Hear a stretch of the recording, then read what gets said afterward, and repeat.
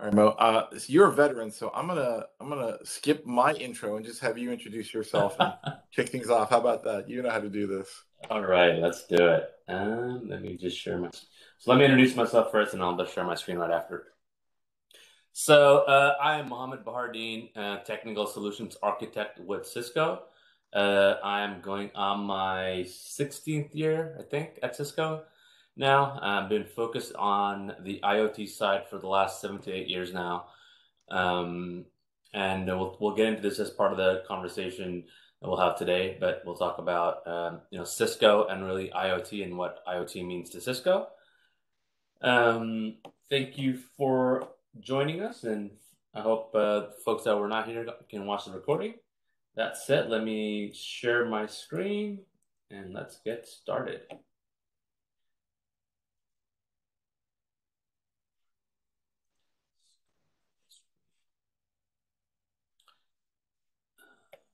All right, cool. So a quick agenda for um, kind of what we'll cover today. Um, I'll try to use as I tried to put this together with as little slides as possible, but I always end up adding slides. Uh, but I also have uh, you know some demos in store for you guys as well. So what I'll kind of walk you through is, hey, how does this? How is IoT is really defined at Cisco?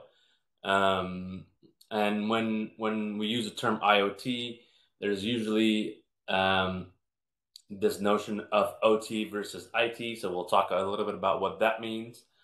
Um, then I'll go into um, you know some use cases that we address with IoT, um, and I'll focus on really three main use cases. Uh, actually, one more use case, which is more on um, the IT side of IoT, if you will, and that I'll talk a little bit about. But uh, my expertise is not in that area, so I'll just give you a glimpse of what Cisco does.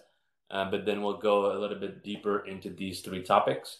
The first of which is uh, extending kind of networks with wireless um, and secure equipment access and OT kind of network security. And these use cases are really based on uh, the conversations the you know uh, that we have with uh, several of our customers uh, in supporting IoT. So when we get you know brought into meetings and when we work with other customers to identify issues and it's primarily around these use cases. So there there's a couple of others that I didn't really include, but if I were to pick the top three, these are definitely the top three, uh, starting from the top um, and almost kind of in that that order, if you will, right? And then uh, towards the end, I'll just give you a quick snapshot of our IoT portfolio, just literally just one slide uh, to, to give you a glimpse of really what the IoT portfolio is all about. Again, keep it interactive, ask questions, uh, interrupt me, uh, and um, we will kind of uh, walk through this as well. So when we talk about uh, how is IoT defined at Cisco, right? There's really two um, notions, right? One is what we've kind of classified as indoor IoT, and the other is industrial IoT. Um, and when I said I've been working at Cisco in IoT for the last 78 years, it's primarily been around industrial IoT. Uh, but the beginning of that uh, also was around uh, the indoor IoT stuff as well, which which uh, wasn't really called indoor IoT at that part at that point uh, but it's morphed into kind of what indoor IoT is today.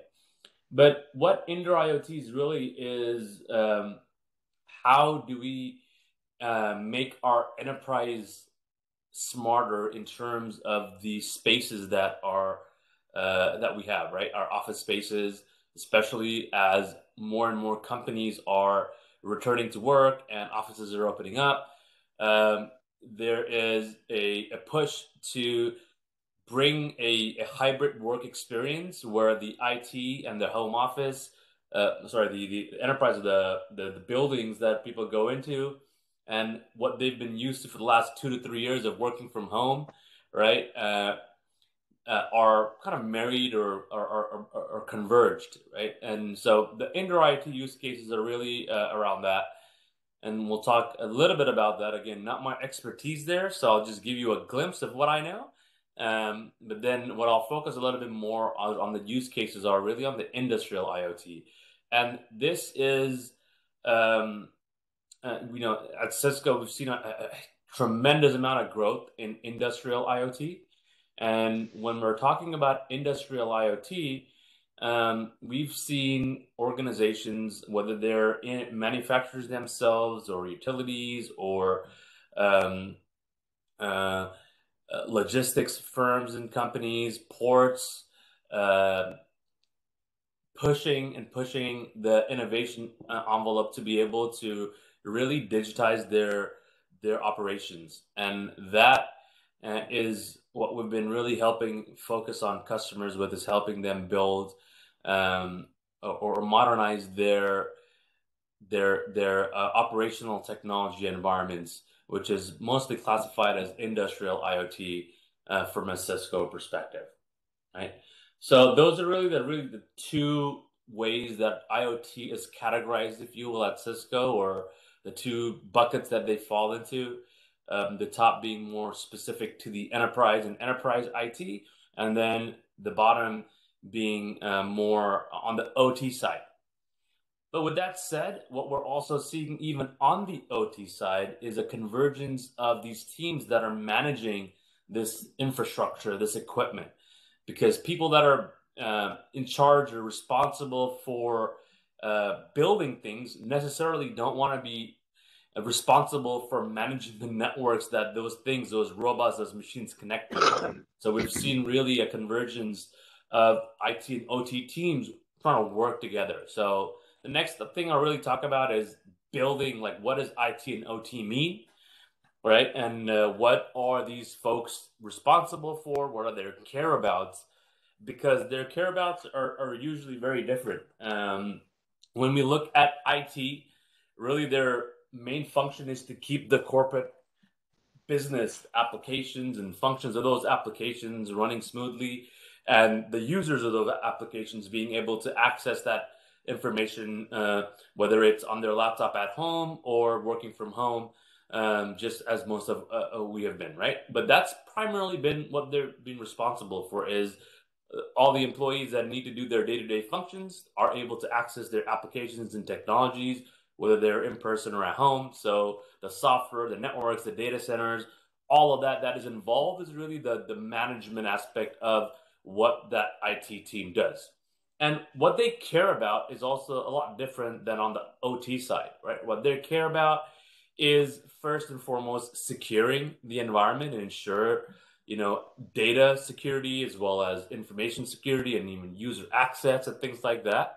Um, whereas on the OT side, that might not be the case, right? And on the OT side, what primarily the OT users care about is uptime. So I have, you know, customers that have literally had malware infected lines running in production and they know that it's infected and they know they have issues with it, but they will choose to keep it running because all they really care about is uptime. Right? For them, if that line or that machine is not building something or they're not building product, that is a loss to the the revenue of the company. So malware infect, uh, uh, you know, whether it's infected with malware or not, is not their primary concern. Their primary concern is uptime, and they will run their lines even if it is compromised, if you will, quote unquote, right, um, uh, uh, to ensure that uptime. And then also uh, with most of these process industries, whether it's manufacturing, utilities, oil and gas, uh, ports, uh, logistics, warehousing. Uh, another big concern for them is safety, safety of the folks that are in these in these these uh, hazardous environments, right? So that is also a little bit different than if you would say from an IT perspective.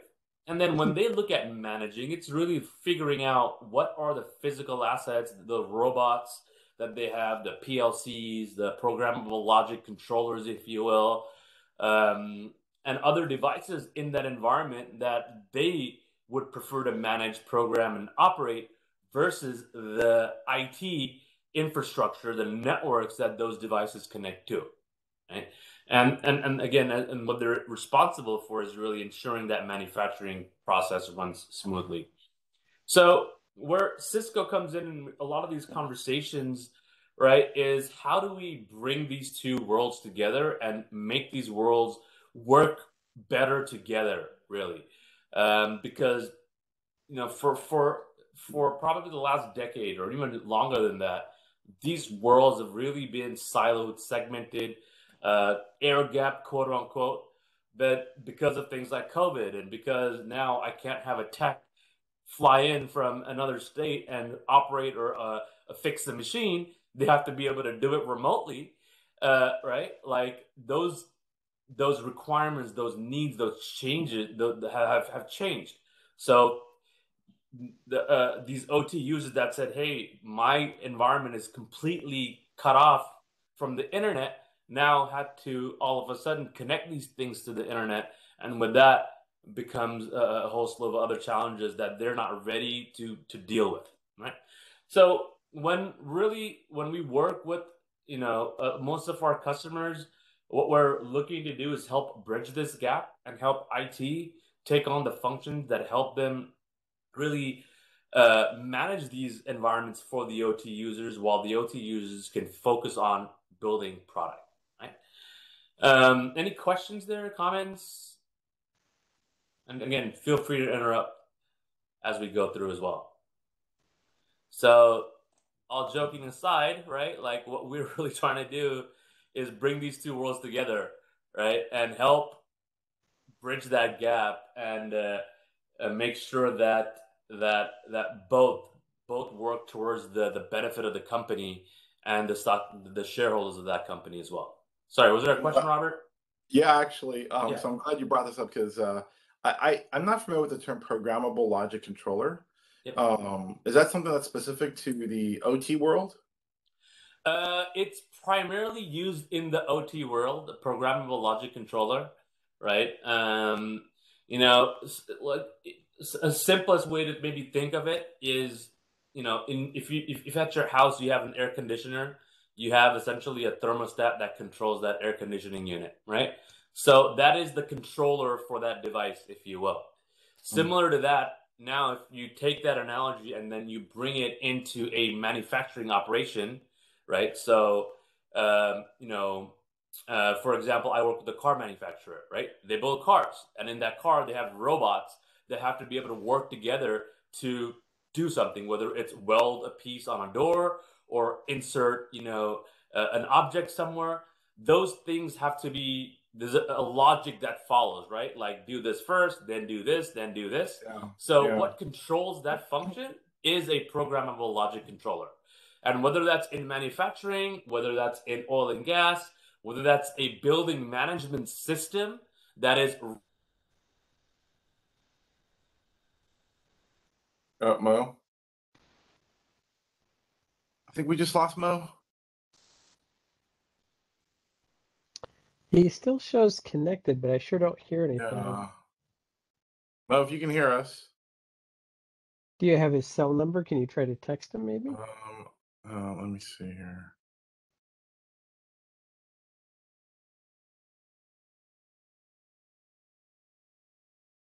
Ping him online here if he's still on.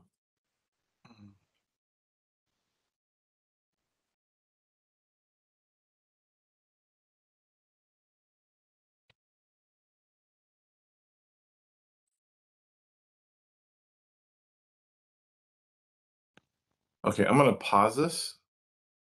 Yep. Um,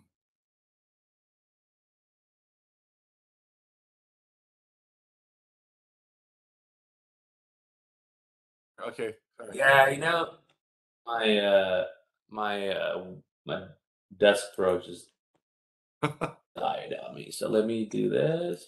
Go back. Uh, I think I need to swap.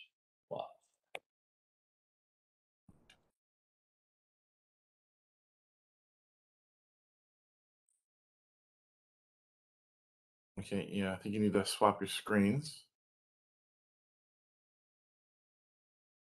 Did that work? No, it didn't work. No. Mm, no, hold on. Is your um, desktop still rebooting or? Yeah, it's just trying to reconnect. Um, okay, all right. Disconnect from that completely. Okay. Just go to this. Let me share. Uh, you should see this. Perfect. Yep, there we go. All right, cool, right? Yep. So uh, I'm not sure where I cut off, but what I was gonna going to go into more of, uh, is talk briefly about the industry or indoor IoT at Cisco, and then go into the industrial IoT. So indoor IoT at Cisco really, um, you know, is indoor IoT, and I say you know also known as kind of smart building. So when as as organizations are kind of looking to Hey Mo, sorry, it went back to the uh, that's weird yeah. here. Um, do you want to just take it out of presentation mode and just? Yeah, I can do that. Um, Sorry. but I can just share my uh, second screen. Let me do that. Okay. That usually works better.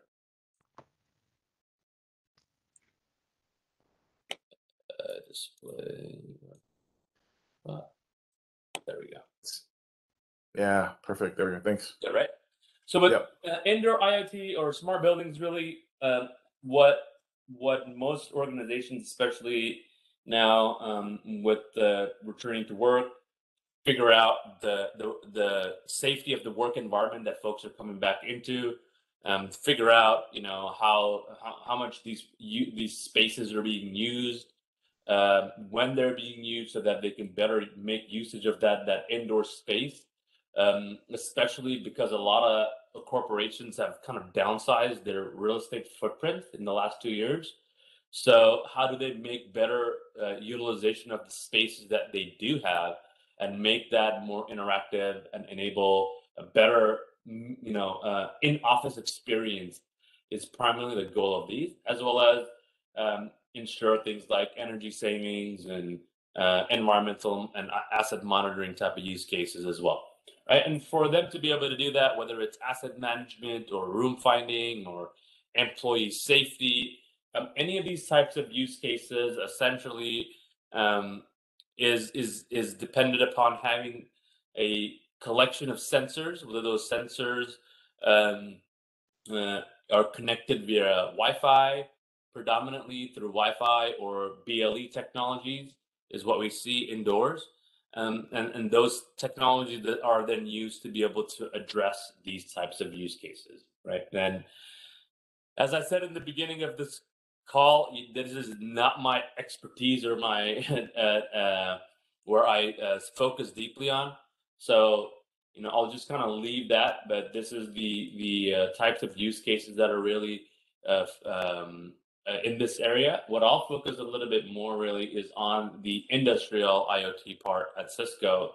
And when I'm talking about the industrial IoT part, it's really everything that the outside of the enterprises because you know whatever industry you may be in there is more to your environment than just the enterprise so how do we extend that enterprise environment to uh, you know, a parking lot, right, or a warehouse.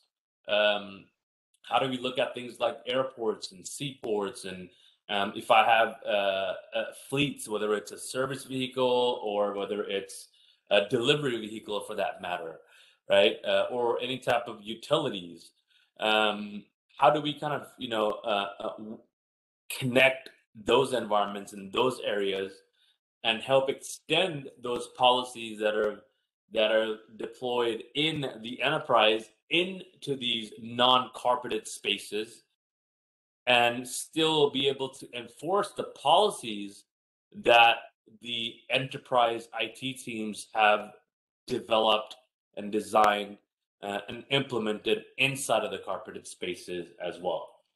And when we look at the actual use cases, I mean, there's these use cases are abundant. Um, whether it's you know smart city type use cases of figuring you know uh, out getting real time traffic updates to pedestrian safety issues, um, whether it's you know a, a, a warehouse. I'm sure all of us probably you know subscribers to Amazon Prime. Well, how does a warehouse figure out where all its devices are? How do those robots move around the warehouse? How do the control systems that you know, uh, put goods in a box so that they can be shipped out the same day that you order it, for example? Um, how do auto manufacturers push cars through their production line? Uh, how do utilities uh, connect to the grid uh, or uh, allow you to connect to the grid if you have solar panels on your roof um, and you're feeding that that that back into the grid? How do they um, do things like distributed energy resource management um, and ensure that they either compensate you for that or, or whatnot. So a lot of those use cases also uh, are the things that you know we primarily work on from an industrial IoT perspective. But from all of that, what I'm going to really focus next is these top three use cases that I mentioned. Right? Is first, how do we extend these wireless net or these networks with wireless technologies? Um, and then I'll talk a little bit about secure equipment access, and then uh, we'll go into like OT network security as well. So um, the first part is really around extending the networks, extending the enterprise networks with wireless. Um, so when we look at um, connectivity, whether now as corporate uh, corporations uh, uh, are opening their doors up, but they want to make it comfortable for their employees, they want to make spaces open, maybe outdoor spaces open for their employees to be able to work from. Um, how do they extend that connectivity outdoors? Uh, how do they get connectivity in a parking lot, for example, um, so that they know, you know, when people arrive or they leave? Or from a safety and security perspective, how do they get cameras connected um, and provide, you know, um, uh, uh, surveillance of environments, whether it's for uh, safety and security purposes or for purely analytics purposes.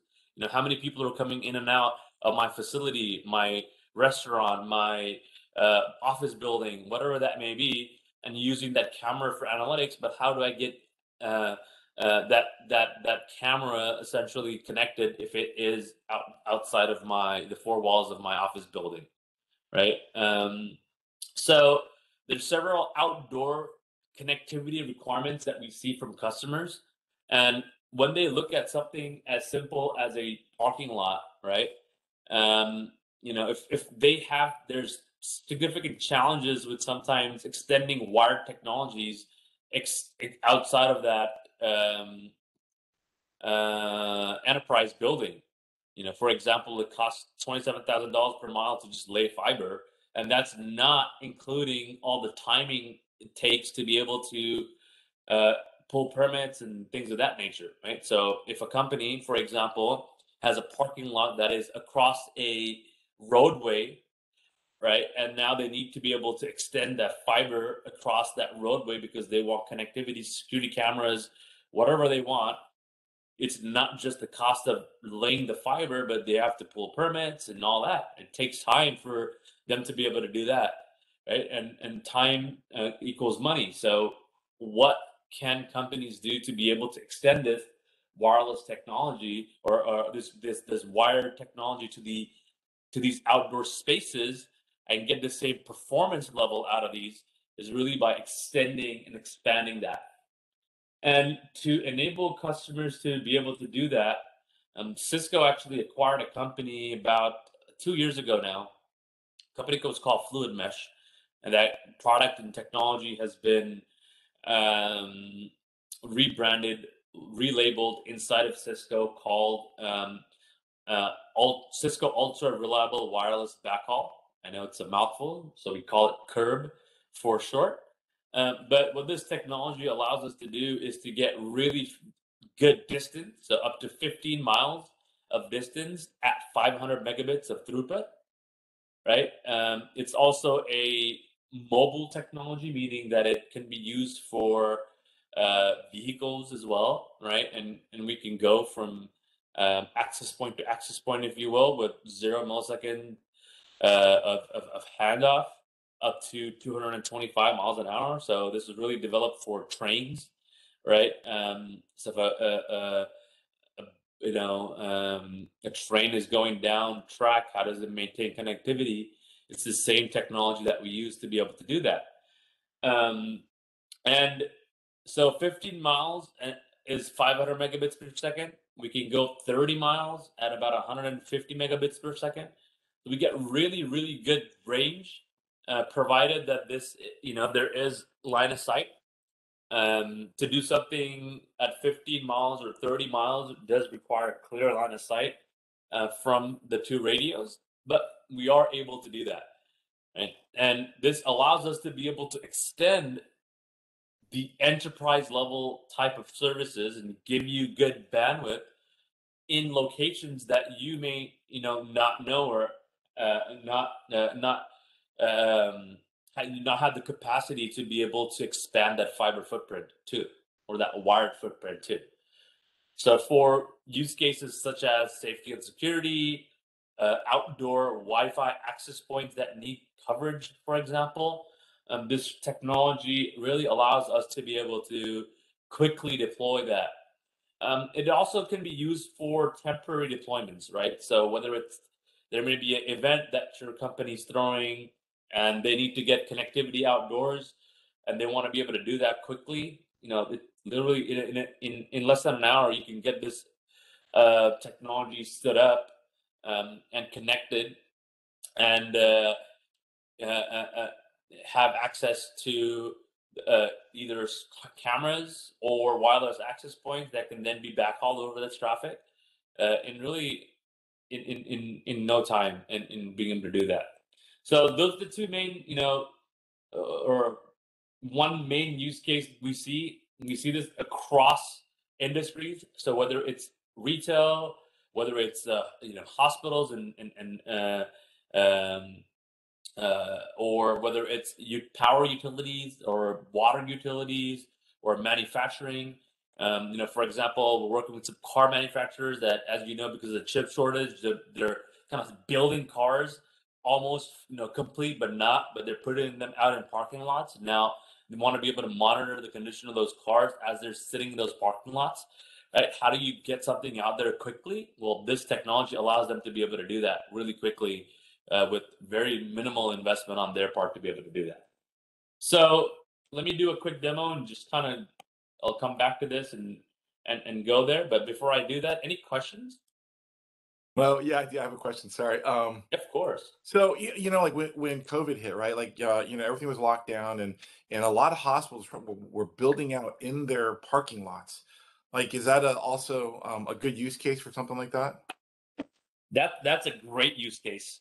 To be honest, yeah. So any pop-ups, quick pop-ups, like I need something, you know, this is a this, this doesn't really show us this, but whether it's a COVID test site or a hospital, you know, outdoor hospital triage area for the ER because their indoor ER is, is overwhelmed and they uh-huh. need to be able to quickly get connectivity in there. You throw two of these radios on each side to get that connectivity, and then from that connectivity, you can put a wireless access point, um, and, and and provide coverage, wireless coverage, or even wired coverage for that matter, inside of those ten those ten facilities. So, mm uh, not related to hospitals, but for example, events. Um, there are two events that we did recently. Uh, one was a, a golf event, I believe, in Pebble Beach, that we were using this technology to provide uh, wireless connectivity for uh, the golfing event.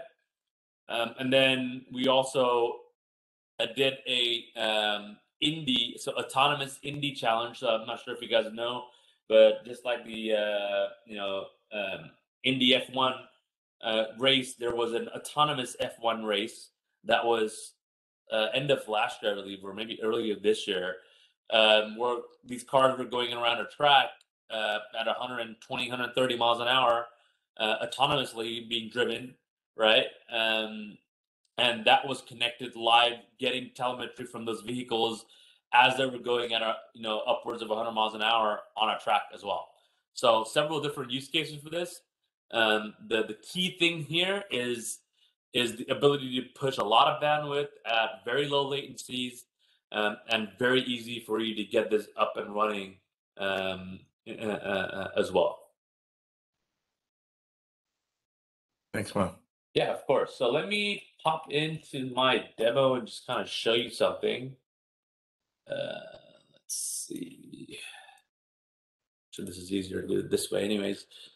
So with uh, this is just a quick demo of the uh, product, the CURWB product. Again, it was called Fluidmesh before, so that's the the notion you, you see of FM or Fluidmesh.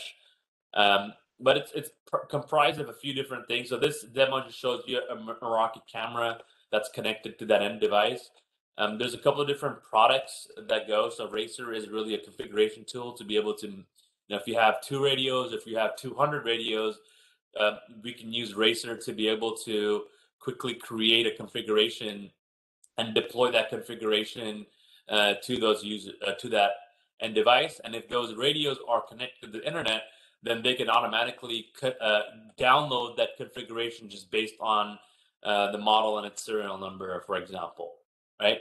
So this is primarily a configuration template tool that allows them customers to or be able to create a template and provide you know general settings of that environment. And once those settings are complete, they can either be downloaded and then pushed directly to the device, and that's how we get the device up and running quickly, or it can be uh, connected to the cloud, uh, internet and through the cloud pull down those connections uh, instantaneously. And this is how, literally, in a matter of minutes, if the templates are already created, you can get a radio up and running in, in really a matter of minutes. And that's really what the, the Racer product is. The next part is the device configuration view as well. So just like we have, so once a, a template is defined, if you wanted to log into the radio itself and, and either you know modify that configuration or validate that configuration, then you can log into the radio itself and, and, and validate that. And because this is a demo system, it just gives me the ability to uh, a read-only view of what that is. But you know, nothing, you know, basic network configurations is really what you're going to see. And then if you do have multiple radios, then we have a monitoring tool that allows you to monitor all these multiple radios. Um, you can um, look at things like latency, uptime, the number of devices that are connected to that. Um, and then you can, you know, um, look at the topology view of these as well. Uh, look at the two, the health of those two radios. Uh, oops, yeah. You can see that radio here. You can then go directly to it if you want.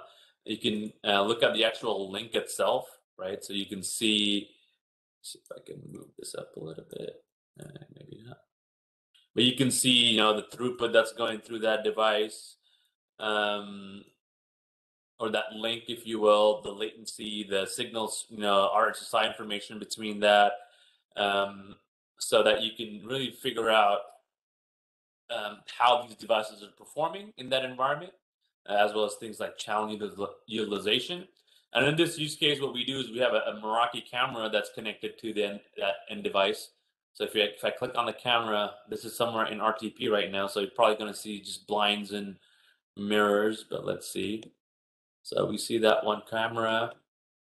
So, and as you can see, this is getting a live stream from that. Uh, and and because the, the blinds are closed, we can't really see outdoors, but I'll go back but before I do, let me just kind of show you that, and you see, like you know, we went up a little bit in bandwidth because we're pulling that that stream live. Um, if I did more with this, right? If I let's see, let's go down here and um, we do like a motion search and see. Hey, tell me what changed here. Uh, and then pull our timeline back.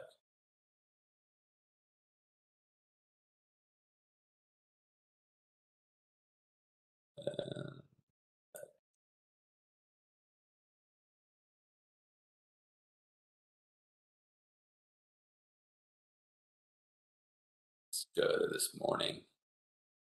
So you can see here, you know, you can kind of shift through that. And then uh, when we do that, oops, right, you should see now more bandwidth being consumed as I'm pulling more data from that camera, right?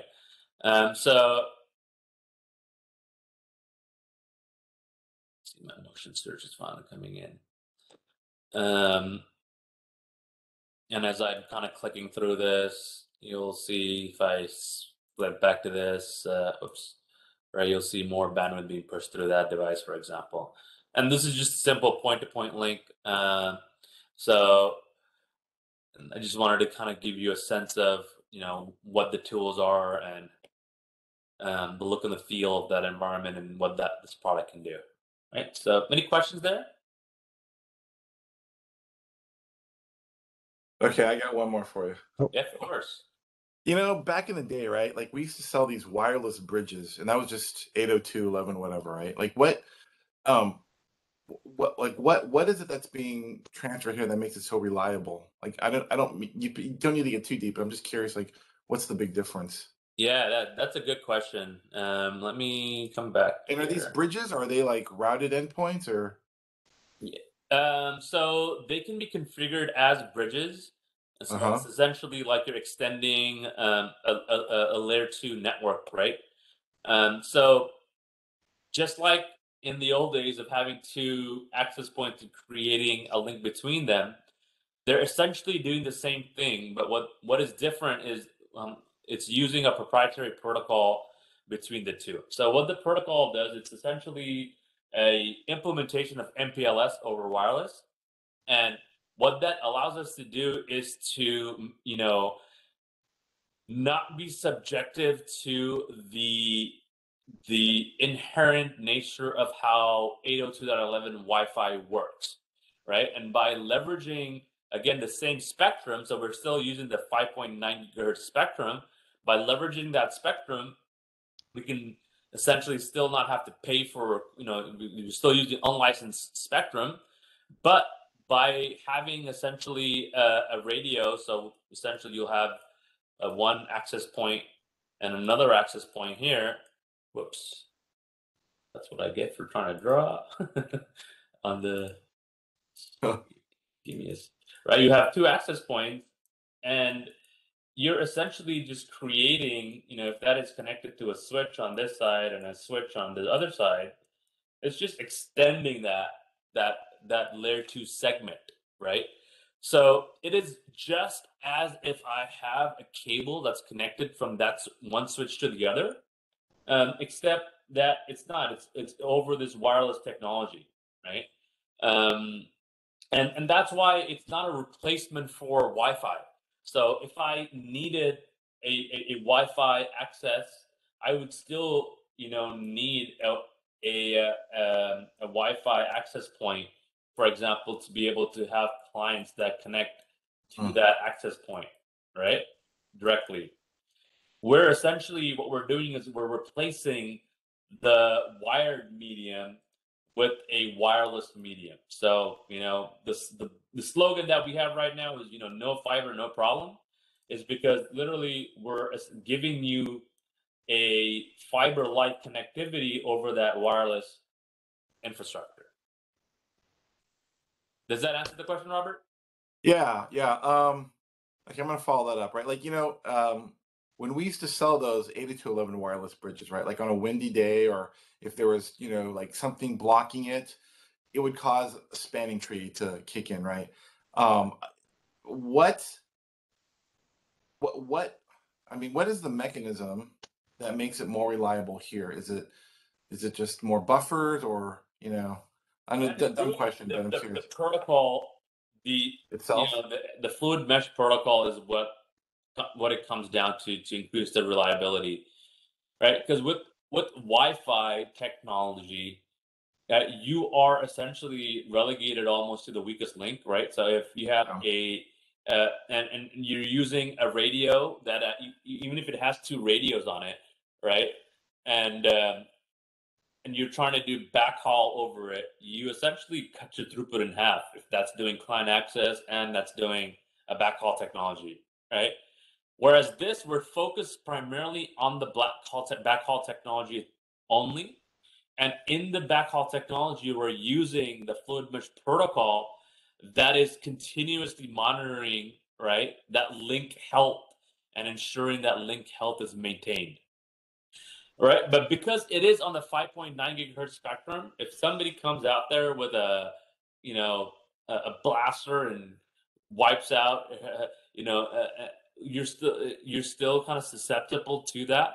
So before you deploy something like this, you would still do something like a site survey to figure out the best channel that you need to uh, configure these radios to, and then use that channel to be able to do that. But provided you have this line of sight between these two radios, right, we can, you know, without, you know, any issues, get that level of throughput at that level of distance. Thanks, man. Yeah. So the next thing that I'll kind of go into is um, secure equipment access. So um, this has been an ask from a lot of our customers. I mean, this is like blown up because of COVID. Um, because primarily we've had customers that have been used to having people or contractors, um, you know, come on site to be able to do things. But because of COVID, because of travel restrictions, because of you know offices being closed down, even you know um, corporate policies that other companies may have that's different from their companies, right? They just don't have the ability to get somebody in person to be able to do that. And from an IT perspective, you know, you're like, well, that's why we have VPN, right? But now, if you have non corporate users that need VPN access, well, how do you provide that securely and, and, quickly? And traditionally, what we've done is that is essentially we've had, you know, a, a firewall that has uh, that has that that that has been connected, and that firewall was that really that entry point or that exit point to be able to provide that. And now, if you need to bring in third parties, contractors, vendors, that require a whole onboarding process to be able to bring them into your environment, right? As a you know onboarded user, and then leveraging the tools and technology that you have inside of, of your enterprise uh, to be able to do that, right? And and that might have been something that would take an organization two weeks or sometimes two months to be able to do that and when we talk about this in a manufacturing environment where I, for example, I'm an auto manufacturer, my my welding robot is broken and I need a a, a, vendor to come and service it, but because of travel restrictions, they can't get a flight in, or because their company doesn't allow them to travel anymore, they can't do it, or whatever it may be. Like that, two weeks is too long. Two months is definitely too long, right? So because of this and you know this is one example. This can be to a building management system. This can be uh, to a security camera. This can be to you know any really endpoint that a customer needs connectivity to. Um, what we've essentially developed is a technology called secure equipment access which essentially is the easy button to be able to do that um, right? So what this requires is essentially a, a, a, a gateway um, that then gets connectivity, right? So um, this end device, whatever that end device may be, is connected to a gateway. That gateway can be over cellular networks or can be through an enterprise network, right? And that gateway is connected to our IoT operations dashboard. And that is where we essentially allow, deny users and services through and then we have that remote access user, which now can really connect to these devices from anywhere in the world to any allowed device that they are able to do. Right. And we can get this up and running in, in literally under an hour from shipping you a new box to setting this up. And uh, probably in about 30 minutes, we could probably get you up and running. Right. So what's required? Let me just quickly stop sharing and uh, oh yeah, you guys can't see my video. So, you know, right on my desk, I have one of these gateways, so a pretty small box itself, right? This connects directly up into that operations dashboard I showed you.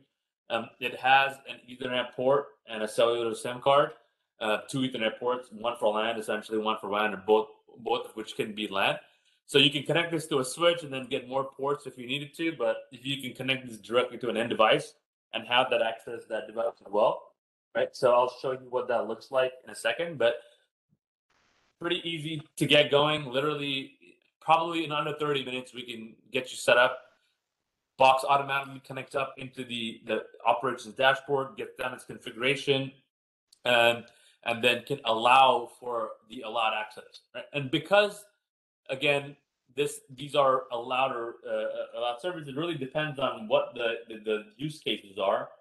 There are only you know a certain number of supported protocols, if you will. Whoops, uh, that's not what I wanted to share. Give me a second. Sharing, share. Cool. So this allows them to really get somebody you know connected and you can when the once that they're done you can literally go in and turn their access off as well right so that now there's no uh, you know security violation or potential security violation that can occur. So for us to be able to do this um, let me you know kind of show you. We log in through a portal um, and there's several routers that we support in here, the, the two of which I showed you on my desk, and I have another one that you can't really see from some on my equipment, uh, my bookshelf that has some other equipment on there. Um, let me just quickly show you what that router looks like. So you come into this dashboard, and I have this router. Show me.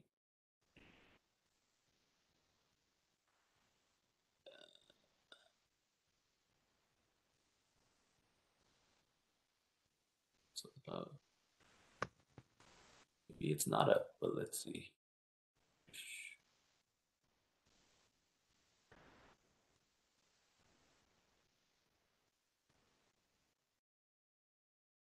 So essentially, you have a router here. I don't. This doesn't look like it's up on this side, but let me show you somebody else's router. Um, basic, you know, um, monitoring information about the device itself, cell usage, and things like that. You know, the devices that may be connected to it, the interfaces. So this is just from a, a router management perspective. But what's more interesting, really, um, is the uh, secure equipment access part. And here is where we look at the actual devices. Um, the device, uh, we add that gateway into this portal right here. I've added that, and I, I know that you know this is up on uh, online and, and, talking to my environment. Um, then the devices that sit between that are added here. So, for example, I've added the router itself, or i have added that you know a, a, laptop so I can show you what that access looks like. Um, and let me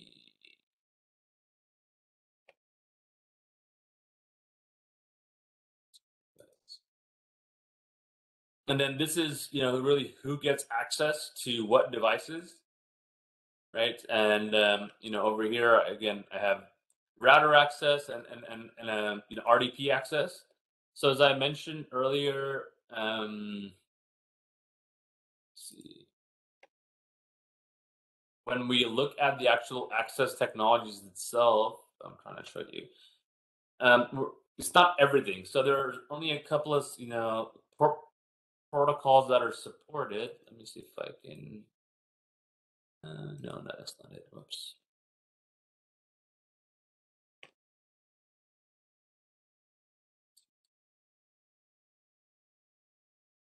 So access methods, here we go. So the access methods essentially SSH, RDP, VNC, or HTTPS, right? So these are the, the, the access methods that are supported. Um, and if those access methods satisfy, then you know we add that access method, we map it to a user or a group of users that can use that device, um, and then we allow them to be able to access that. So here I have that router. Back. So once I click on it, um, I can see that. Let me see if uh, I can see what the username and password is.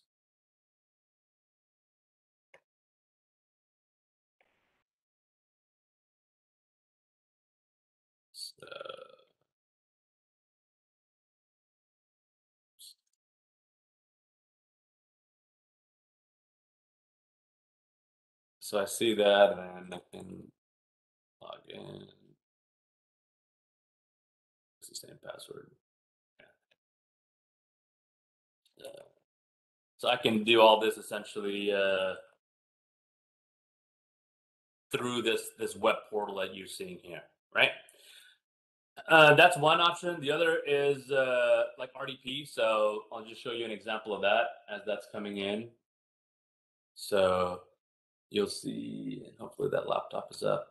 This laptop's a little bit slow, so it might take a second, but um, so this is essentially a way for me to get um, an RDP session again, literally in a matter of minutes, right? So, um, and we can get something up and running and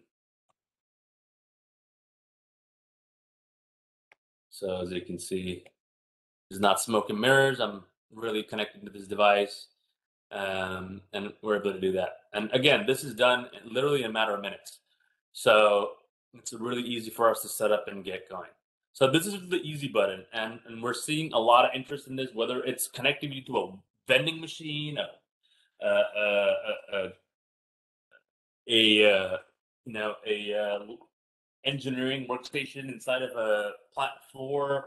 Um, you know, multiple different use cases that that customers are coming to us. Uh, a charging station, for example, right? Um, I may have a, a charger that I want to connect to, an EV charger, and get data or be able to troubleshoot and figure out why my billing data is not coming through. So we've got a lot of different use cases that are coming uh, for these these remote access uh, technologies. And as as you saw, that's pretty easy. Um, you know, from a user experience perspective, literally two clicks and you're able to access your device versus having to VPN in and uh, all that, um, setting up policies and all that. Like, right, you, you kind of foregoing all that for the easy button. But that said, you're you're kind of you know um, only able to do those those access methods that I showed you. So VNC, RDP, SSH, uh, and any type of web app that you may have running in the background as well, right? Let me uh, pause. Any questions there?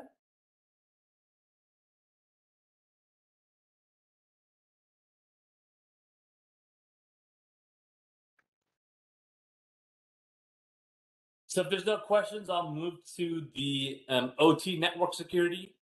So um, I'm sure you guys have seen several incidences of uh, um, OT networks being compromised.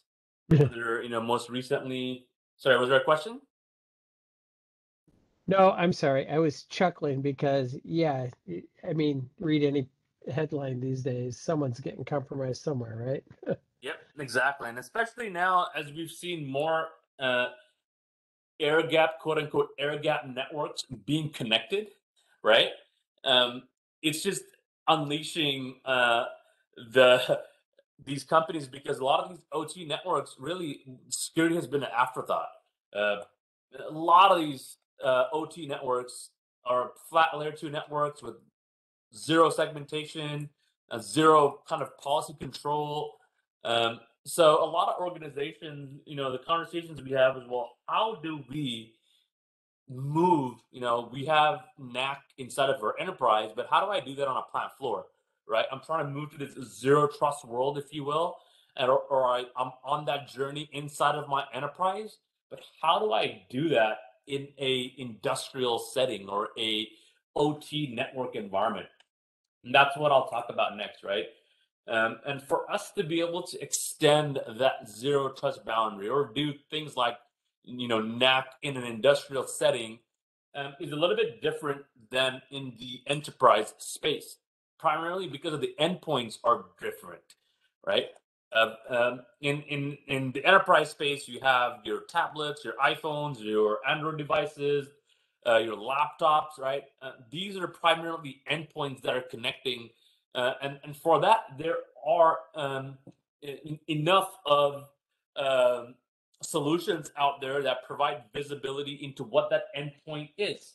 Um, there are enough um, policy control engines, right? Like things, products like ISE, for example, that have device profiles of your laptop, of your you know iPhone, of your Android tablet, and your you know Mac OS laptop, for example. And they can use those device profiles to be able to create policies that when a, a, a device associates the network. That's not the case when it comes to OT networks, right? Um, how does a programmable logic controller get profiled? How does a robot, a KUKA robot, or a um, uh, a, a, a, remote terminal unit or a you know IED or all these different industrial devices, how do they get profiled so that we create policies around?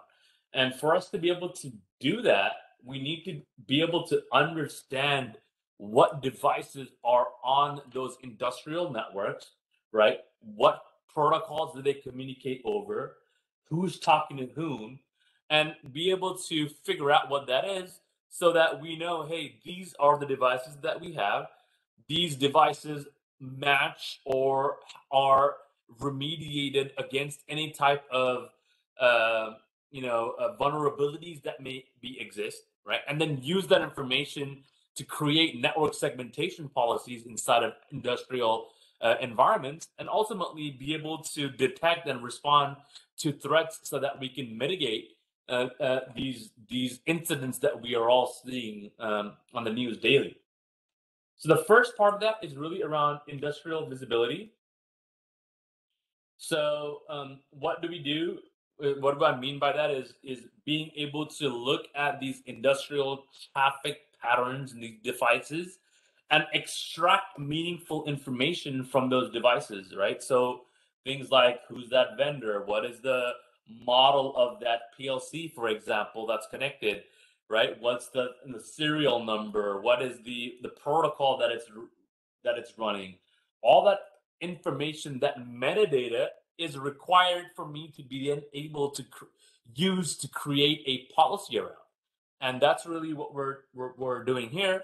Is we have essentially a tool called Cyber Vision, which is uh, essentially a two-tier system it uses a sensor that runs on the actual um, you know a network device itself and it uses uh, it, it essentially runs on the switch itself or the router or the gateway it's able to span that traffic from those switchboards vlans whatever it's uh, is connected to that end device do some deep packet inspection of that traffic and then understand what that traffic is, what that device is that's connected to.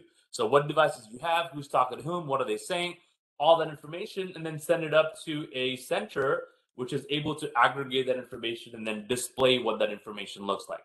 So, what does that mean? What, what, what do I get? What's the output of that?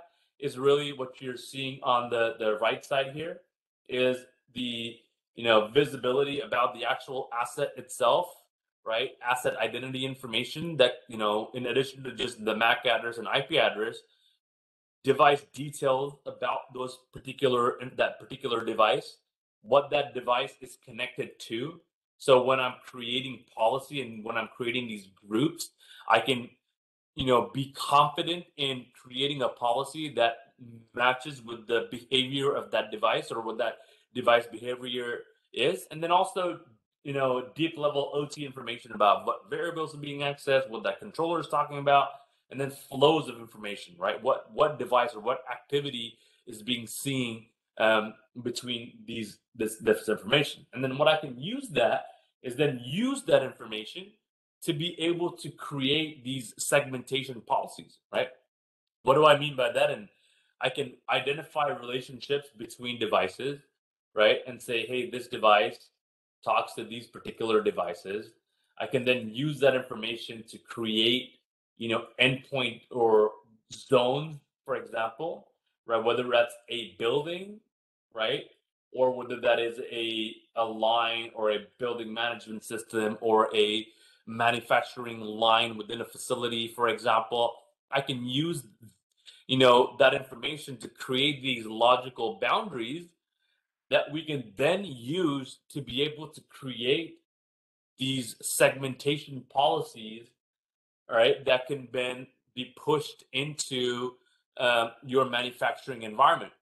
So just like you do this today for your IT devices, like a laptop, right? And you say, hey, a laptop that's connected in my building in in in Orange County should be able to talk to other devices in Orange County, but maybe it shouldn't be able to talk to devices that are sitting in Austin, Texas.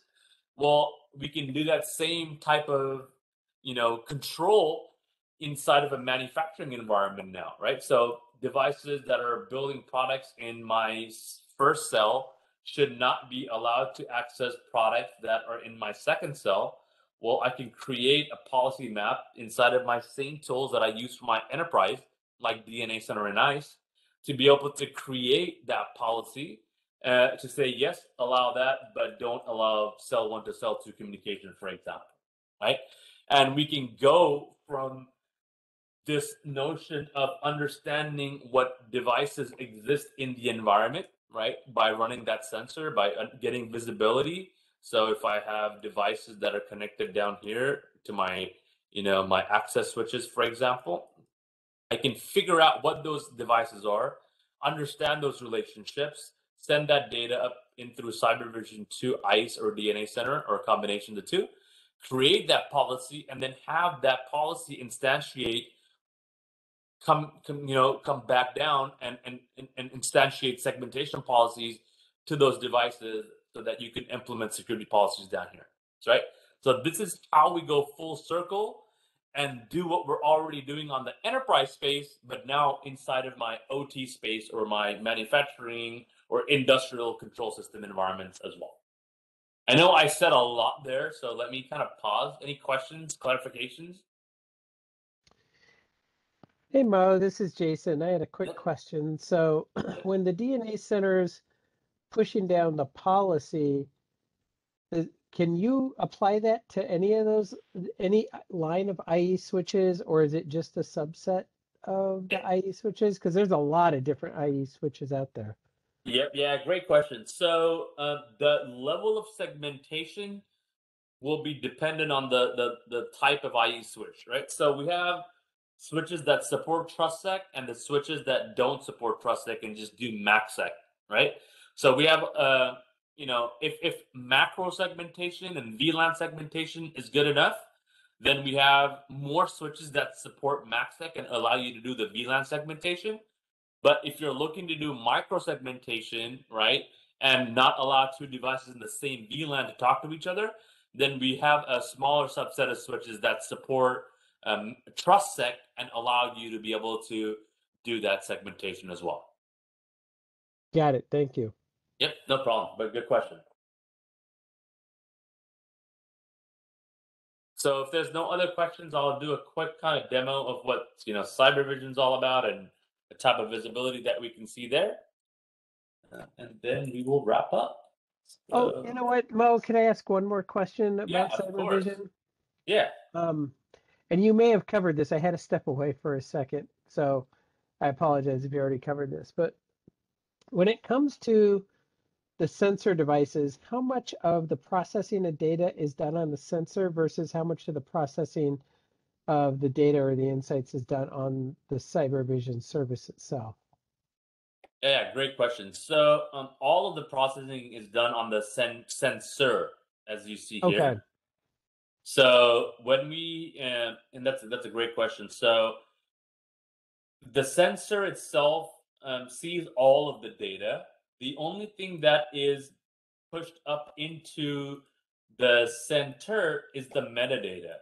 So, you know, 100% of the traffic is seen by that sensor. And essentially, what we're doing is we're doing a span to a sensor that's located inside of a switch, right? Mm-hmm. So, if the switch doesn't support it, we do have a, a hardware based sensor as well that you can have. Um, but that then requires you to build an out of band span network to be able to get the same level of visibility that we can do inside of the same switch that you know is doing the switching already right so if we can use the same switch and the same switch supports that sensor then the preference is to be able to do that because because it eliminates the need to build an out of band span network but now once the sensor sees 100% of that traffic uh, only about 1 to 3% of that traffic that the sensor sees is sent up into the center. And that is just the metadata that allows us to give you all of this information about what it sees there. Got it. So, for example, if I want a temperature sensor, I just need to ensure that there's a temperature sensor option that I can add into my whatever IE three thousand or something like that. Well, n- not Or not, exactly. not so quite. Okay. not quite because these sensors are really looking at the industrial traffic that is going Mhm. across this, right? And and and it's maybe it's the building management set the, the, the building management system that the temperature sensor is connected to and we're going to see that traffic but it's Mm. not predominantly it's not just a temperature sensor Got it. Okay. Thank you very much. That clarifies that for me a lot. yeah no problem any other questions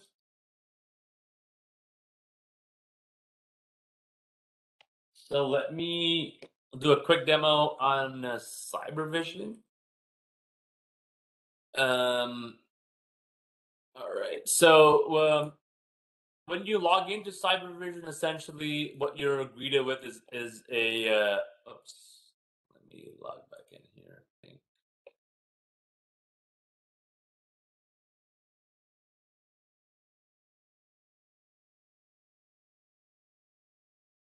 um, you're essentially given an idea of um, the the um, a view into the operational view. Again, this is more towards the that OT user, if you will, and then a security view, which can be either from an IT perspective or an OT perspective.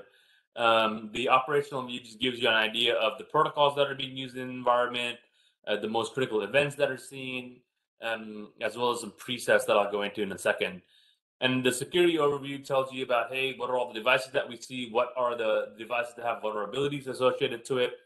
And then we also provide a risk score. So based on the vulnerability that is there, as well as the place in the network, uh, uh, the, the potential impact of that vulnerability being exposed, uh, we assign it a risk score. And then we're able to tell you what that risk score is and how to mitigate or lower that risk score uh, as well. Um, so this is like a 30 day, the last 30 day view to look more into Cyber Vision. Then we click into explore. Uh, then you presented a set of presets. These, you know, presets are user defined uh, or system defined. Things like IT communications, control systems information, network management data, uh, all this data. But for the purpose of the demo, I'll just show you everything that we see here. And then when you click there, you'll see essentially, hey, there's no data. Well, that's because this is looking at essentially a real-time view. Um, if I and and this is a uh, a static demo environment. So if I make this, you know, the last year of data, then you'll see uh, the the devices that are exist. Number the, the, devices is what devices that we see. The activities are the relationships between those. The vulnerabilities are all the vulnerabilities that exist in those devices right? And the events that are associated to that. Variables are really OT specific uh, uh, variable information. And then down here, we see um, a, a breakdown into all the different tags that are associated, whether it's control system behavior or you know things like ping traffic, right? Uh, or broadcast traffic, um, and then all the protocols that we see. And and here is where those sensors, right, are going to be exchanging that information, whether that is over, uh, you know, VNet IP, which is through a manufacturer called Yokogawa, or whether it is uh, through things like S7, which is a Siemens protocol, or you know, Profinet, which is also a Siemens protocol, or Ethernet IP, which is a Rockwell protocol, right? All these different protocols is the visibility that we're able to provide you and then this information is what we can then use to be able to create those policies and such inside of DNA Center and ISE that I showed you earlier. But when we look at these this information that we see here, this gives you a, a, a view of what that information looks like. And then this is more of a, a map view of that, right? So what are the um, the devices and their relationships with other devices? And then you see those devices as well as the relationships between those devices. Um, you can see, you know, these groupings, and these groupings are things that you can you are user defined, right? So I can essentially, you know, create things like a substation. You know, and this is a, a utility example, that shows a, a, a control center, an enterprise network, and a and a, a, a substation for that utility network, for example. Uh, different devices that are in that environment, right? Um, or a, a, a, oil and gas example. So these are again control specific, and that's what cyber really focuses on is industrial control system traffic. Um, so let me pick something and see. So for example, I picked this, uh, you know, um, Siemens controller. Um, and when you look at the controller, you're presented um, this additional detailed information, right? And this information is then which can be passed into ISE, right? So that you can now create a device profile of what that that that that industrial control uh, uh, device looks like, uh, and use that information to create a profile. In addition to that, you can also send the group information.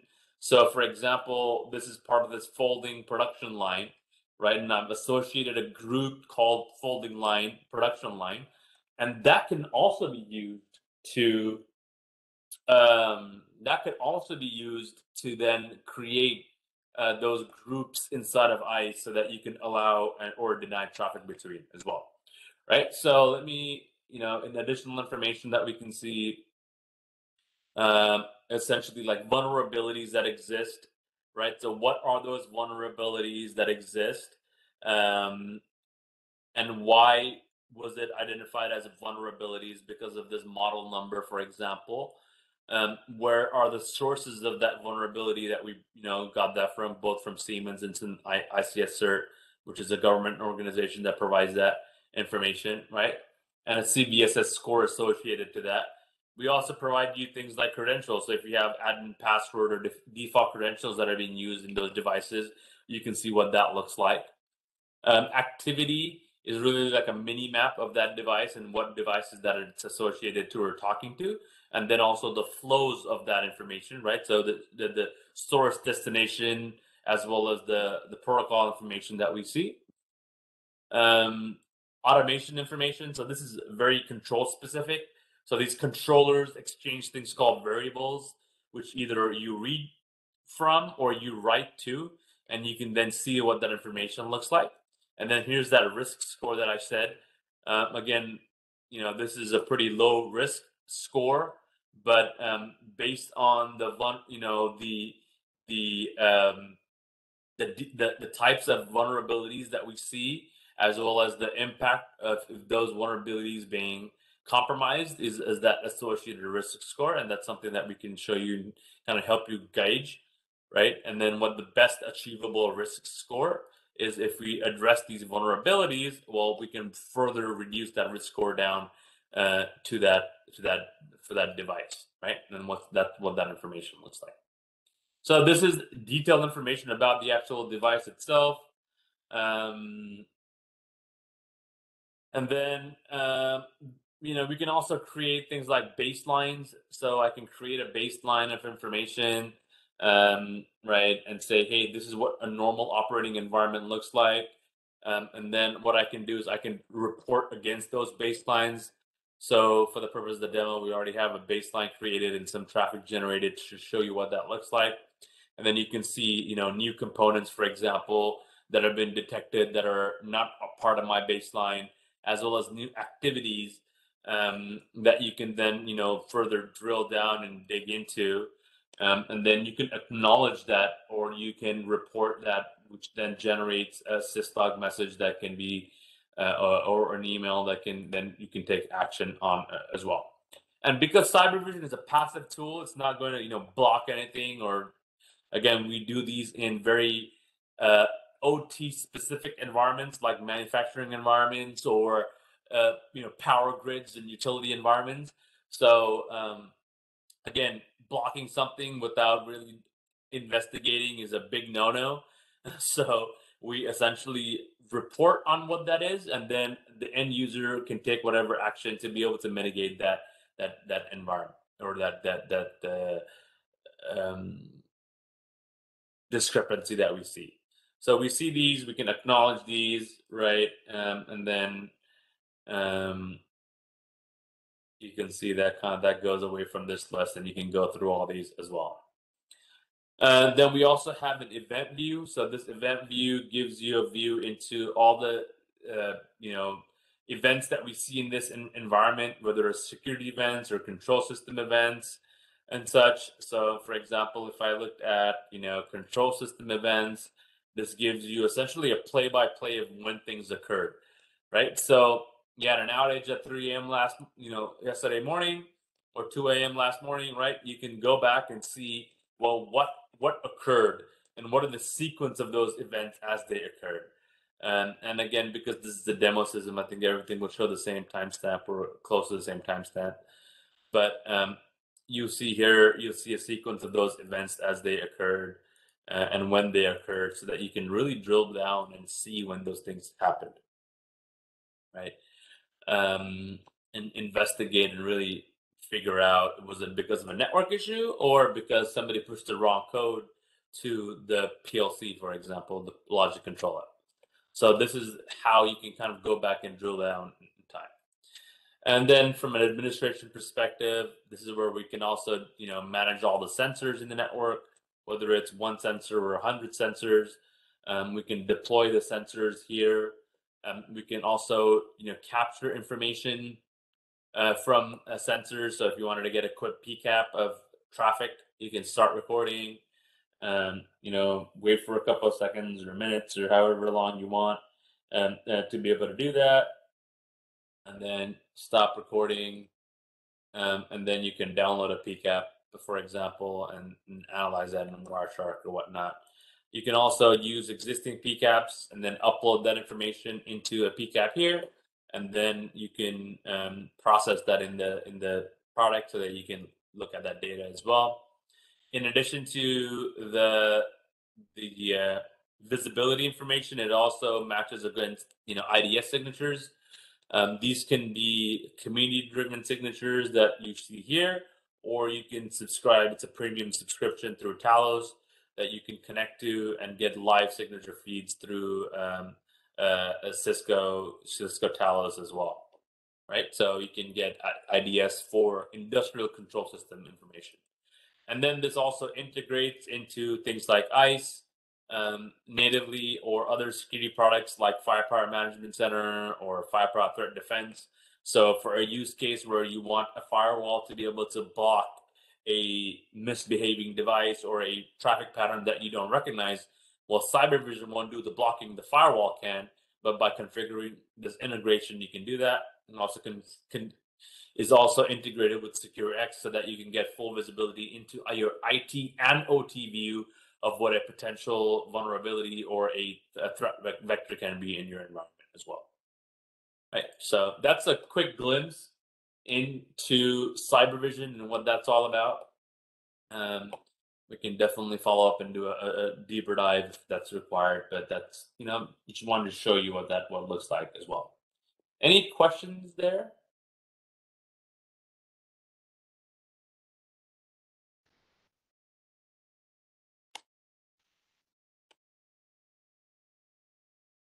So the last thing on my agenda is just a quick snapshot. Again, I promised one slide, and I'll keep it to one slide of what the Cisco IoT portfolio is all about. And and this is it. Um, if you look, you know, when, Cisco, especially when we talk about industrial IoT, what we mean is devices that sit outside of the enterprise space. So all of these devices that you see here um, have no moving parts, no fans inside of them, for example, right? And they are passively cooled through the chassis of the device. They withstand, you know, uh, minus 40 degrees Celsius to positive or plus 75 degrees Celsius. That's like 160 degrees Fahrenheit, I think. Right. So uh, extremely temperate, uh, uh, uh, varying degrees of temperature, humidity. Um, you know, our uh, majority of these devices are IP30 rated and um, can work in dusty conditions. Uh, some of these devices are IP67 rated, right? That means that they can be, you know, um, washed down or hosed down. We have a, a, meat processor, for example, that we work with. um, you know, at the end of the day, once they're done, they they hose down uh, that environment, right, uh, for sanitation purposes, and they can put a switch in there that can be hosed down. We have other use, cases where um, uh, a router needs to be mounted, on, on a pole, um, and that pole needs to be able to be rained on uh, or snowed on or whatnot, and we can you know provide a, a, a router that can be pole mounted, for example, or industrial Wi-Fi if I needed to get an access point and, and have that access point mounted outdoors and not be susceptible to the element the elements of the weather. Uh, we can we can provide an access point and, and do that. So a lot of that you know technology that you're already used to with Cisco are also provided in this industrial form factor that allows you to extend the enterprise management tools that you have today uh, and manage that same technology this same uh, use that same technology to manage these same switches gateways routers uh, as well in addition to the security products that we talked about uh, as well. And then Fluidmesh which which we went into that i won't really belabor but this is what the overall portfolio is um, you know, if there is uh, specific follow up from the user uh, group and you want to talk about anything else on here, I'm more than happy to come back and talk to you guys about it. Um, or feel free to essentially reach out to me and uh, get you know further information from me as well. Um, here's my email address um, if you wanted to get in contact with me and, and, and get more information from me. But that is pretty much what I had for today. Um, any questions, comments um, before we end for the day? I don't have anything. That was great. But Mo, it was nice to see the demos uh, to tie some of those components together. Yeah, awesome. Yeah, thanks, Mo. Thanks for taking the time to prepare and present tonight. I really appreciate it. Yeah, yeah, no problem at all. And uh, if there's anything that uh, you know, as follow-ups that come out of this, or anybody wants to know more, just feel free to reach out. I'm more than happy uh, to get connected and provide any details needed. Thanks, Mo. All right, I'm gonna stop the recording.